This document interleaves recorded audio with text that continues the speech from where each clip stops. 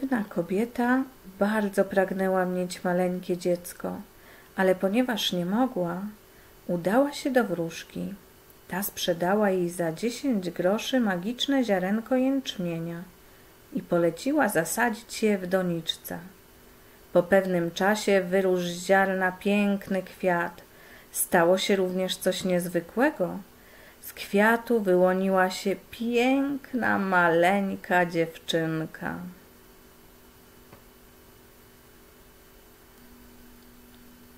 Mama nadała jej imię Calineczka i przygotowała dla niej posłanie w skorupce orzecha.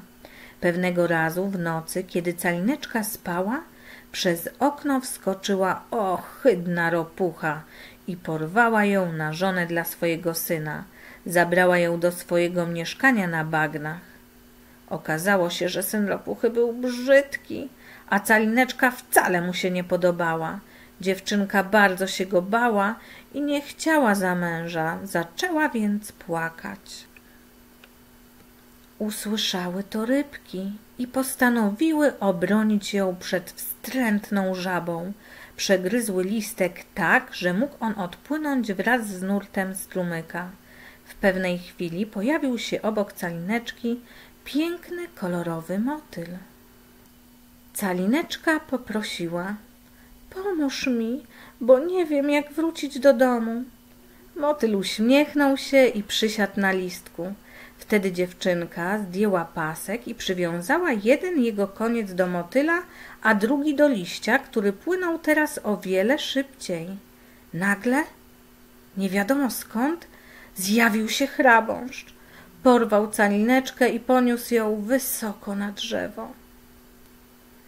Inne hrabąszcze uznały, że jest bardzo brzydka, dlatego postanowił zanieść ją na łąkę i tam pozostawić.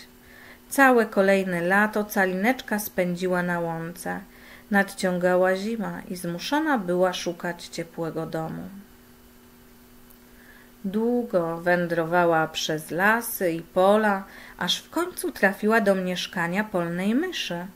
Ta zaproponowała jej wspólne mieszkanie w zamian za pomoc przy drobnych domowych obowiązkach. Pewnego dnia mysz poinformowała calineczkę, że spodziewa się gościa. Gościem tym był Kret, niesłychanie bogaty i mądry. Calineczka od razu mu się spodobała. Zaprosił więc ją i mysz do swojej posiadłości w podziemnym korytarzu.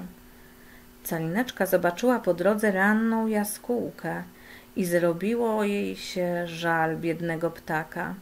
Przez całą zimę jaskółka pozostawała pod ziemią, a calineczka troskliwie ją pielęgnowała. Kiedy jaskółka wyzdrowiała, opowiedziała calineczce o swym zranionym skrzydełku, z powodu którego nie mogła odlecieć do ciepłych krajów. Myszka oznajmiła, że Kret poprosił o rękę calineczki. Słysząc to, dziewczynka wybiegła z norki. Za nic nie chciała zostać żoną nudnego kreta i spędzić reszty życia pod ziemią, bez słońca i kwiatów. Wtedy właśnie usłyszała znajomy głos.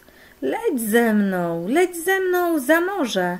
Nie zważając na nic, dziewczynka wskoczyła na grzbiet jaskółki i poleciała z nią do ciepłych krajów.